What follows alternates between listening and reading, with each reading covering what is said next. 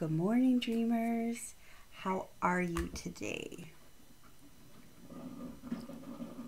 Today is a good day for a good day.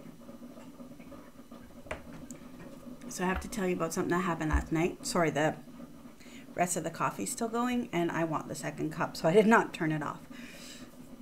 Um, so something that happened to me yesterday, and then again, like literally just now. Um, I have something to show you. Be careful. Watch your eyeballs. So this is my light, right? We've all seen them because we um, we're a Zoom culture. We've needed to become one, and so we've all seen ring lights. Although this is a cheapo whatever, but I was using it last night um, to do my fingernails because I was um, I'm an old lady and so I need a little extra light but it wasn't it wasn't lighting up the I'm like oh the battery's dead. So I did not go to Amazon. And woo, there we go. I didn't go to Amazon and order a new one and throw this one out. I charged it. I found the cord. I had to do some digging because I'm an old lady and forget where I put stuff. But I charged the light and now it's very bright. I'm looking like a ghost today. Stop. And then this morning I had my cup of coffee. Okay. Put it down on the table in front of me. and as I was setting up, I knocked my coffee. I didn't spill it completely over, but I jostled it and out came hot coffee. It's on my shirt, it's on my pants, and I'm like, hmm, I'm gonna have to wash these. So when I'm done here, I'm gonna have to go change and find something else to wear and throw this in the wash. But I didn't think in my head, oh, I better throw those out. I had to clean them and I had to restore them. But I didn't, I also didn't throw out the mug that still has some great coffee in it, by the way. Uh, Starbucks, not a sponsor. Um, but so I didn't throw it out though because it offended me or it messed up or it spilled what was in it.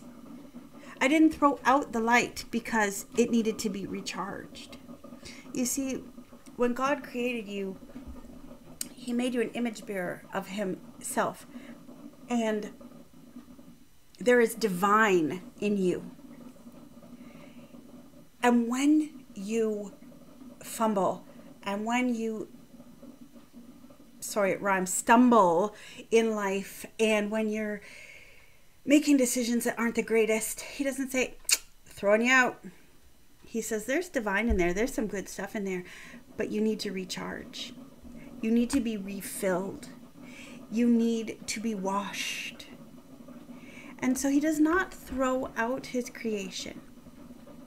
So when we as creation start to look at others and throw them out because they don't quite fit how you are thinking they should be, we are actually playing a very dangerous game when we start to throw other people out. Their views on vaxes don't match mine. Their views on social justice don't match mine. I'm so much more progressive than they are. Give it up. They are being who they've been created to be. And if that's straight laced conservative, you embrace that and love them. I'm preaching to myself now.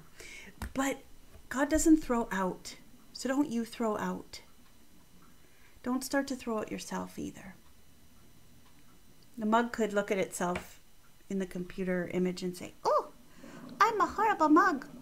I have nothing good within me, and anything that comes out burns people, and they don't like me. I'm going to throw myself out. Because don't do that.